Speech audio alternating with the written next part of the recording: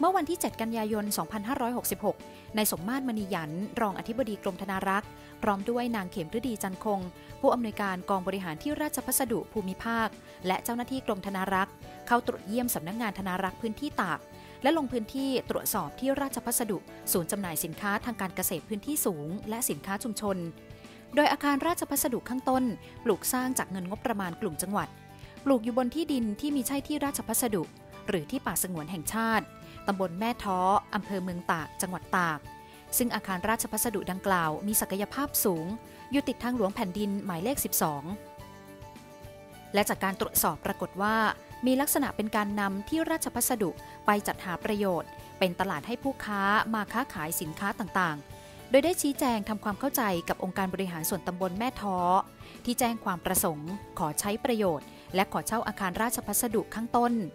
รวมทั้งผู้ค้าที่ค้าขายสินค้าในตลาด เกี่ยวกับแนวทางการดำเนินการจะให้เช่าที่ราชพัสดุดังกล่าว ที่อยู่ในพื้นนี้ก็เป็นอาคารรับประดุนะครับที่เป็นใช้งบประมาณของกลุ่มจังหวัด แต่ปลูกสร้างอยู่บนที่ดินของกรมป่าไม้นะครับ ซึ่งวัตถุประสงค์นะครับในการปลูกสร้างก็น่าจะใช้เป็นอาคารทำการด้านด้านการตลาดนะครับอสองอาคารนะครับ แต่หลังจากลงมาตรวจสอบติดตามแล้วปรากฏว่า ลักษณะของการจัดการเรื่องตลาดนะครับ ก็ไม่สามารถที่จะสร้างตลาดให้กับพ่อค้าแม่ค้าเนี่ยมีรายได้เยอะจนเกินไปนะครับ แต่ทางอบตก็ได้เข้ามาปรึกษาหารือนะครับว่าอ่าจะบริหารจัดการให้ถูกต้องตามระเบียบยังไงนะครับ ซึ่งหลังจากลงพื้นที่ดูลักษณะการใช้ประโยชน์นะครับ ก็เนื่องจากอาคารโดมนะครับมีมีสองอาคารนะครับ เพราะฉะนั้นอาคารแรกนะครับอย่างที่ เห็นในส่วนนี้นะครับก็ทางอบตได้ทำการทดลองให้ชาวบ้านในพื้นที่ได้มีอาชีพนะครับก็ทำการค้าขายได้บางส่วนนะครับ ก็ในในส่วนอาคารแรกนะก็ต้องให้อ่าอบตนะครับทำเรื่องขอเช่ามายังสำนักงานทางพื้นที่นะครับ ส่วนออีกอาคารหนึ่งนะครับ ลักษณะน่าจะเหมาะกับการใช้ประโยชน์ในทางราชการมากกว่านะครับ ซึ่งก็ที่ผ่านมาทางอบตนะครับ ก็ได้ เอาอเหตุการณ์นะครับในการที่ส่วนราชการขอใช้ทำากิจกรรมอะไรต่างๆ ซึ่งในส่วนนี้ก็ได้เดี๋ยวผมจะสั่งการให้ทางทางรักประสานกับอบตว่าอ่าในส่วนนี้ให้เป็นการขอขอใช้นะครับให้ถูกต้องนะครับ ส่วนในเรื่องของที่ดินของกรมป่าไม้ ทางออบตนะครับก็ได้ขออนุญาตจากกรมป่าไม้เรียบร้อยแล้วครับผมต่อมาวันศุกร์ที่ 8 กันยายน 2566ในสมมาตรมณีหยัน รองอธิบดีกรมธนารักษ์ นายสุรพล วงสุขพิสาร รองผู้ว่าราชการจังหวัดตาก รับฟังความคิดเห็นหรือ Market Sounding การดำเนินโครงการพื้นที่เขตพัฒนาเศรษฐกิจพิเศษตาก บริเวณที่ดินราชพัสดุ แปลงหมายเลขทะเบียนที่ตก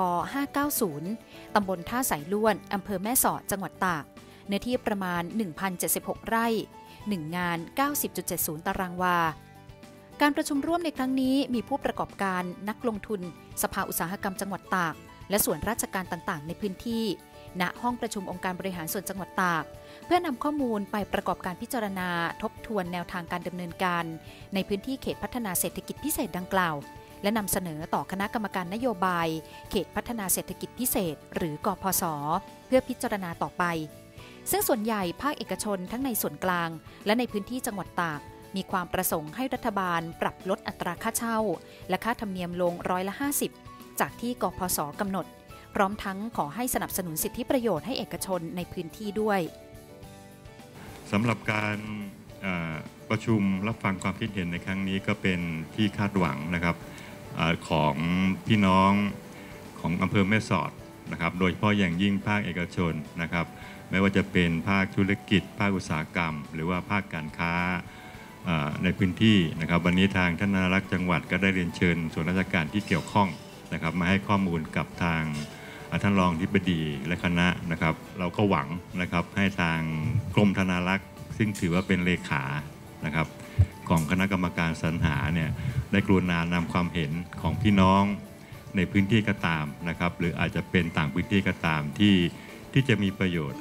นะครับ ในด้านหนึ่งก็คือการพัฒนาพื้นที่ด้วยนะครับ เพื่อนำสู่กรรมการสรรหาต่อไปนะครับ กรมธนารักษ์เป็นหนึ่งในหน่วยงานสังกัดกระทรวงการคลัง มีหน้าที่และอำนาจในการปกครองดูแล และบริหารจัดการที่ราชพัสดุ ให้เกิดผลสำฤทธิ์สูงสุด ทั้งในเชิงเศรษฐกิจ สังคม และสิ่งแวดล้อม จึงเตรียมผลักดันให้เกิดการลงทุน ในพื้นที่เขตพัฒนาเศรษฐกิจพิเศษ ตามนโยบายของรัฐบาล ให้ได้ตามความมุ่งหมาย เกิดผลสำฤทธิ์ทางด้านการลงทุน ในพื้นที่เขตพัฒนาเศรษฐกิจพิเศษอย่างรวดเร็วขณะนี้นะครับพื้นที่เขตพัฒนาเศรษฐกิจพิเศษจังหวัดตากนะครับมีความพร้อมนะครับ ไม่ว่าจะเป็นในเรื่องของอินฟราสตรักเจอร์นะครับ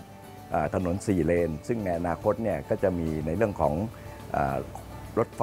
นะครับ ซึ่งรัฐบาลเองก็โดยมติคณะรัฐมนตรีนะครับ ก็เห็นชอบให้สร้างเส้นทางรถไฟจากนครสวรรค์มากำแพงมาตากแล้วก็เข้าเข้าไปที่อำเภอแม่สอด แล้วขณะเดียวกันภาคเอกชนเราโดยเฉพาะทางจังหวัด ท่านผู้ว่าราชการจังหวัดตากเราก็ผลักดันในเรื่องของมอเตอร์เวย์ นะครับมอเตอร์เวย์ก็คือเส้นทางอุโมงค์สายต่ากแม่สอดนะครับเพื่อที่จะอำนวยความสะดวกให้กับผู้ประกอบการนักลงทุนเข้ามาลงทุนนะครับอำนวยความสะดวกให้กับนักท่องเที่ยวที่จะเข้ามาท่องเที่ยวในพื้นที่นะครับ เชื่อว่าจังหวัดตากเรามีความพร้อมนะครับสามารถที่จะเข้ามาลงทุนในด้านต่างๆได้เลยนะครับ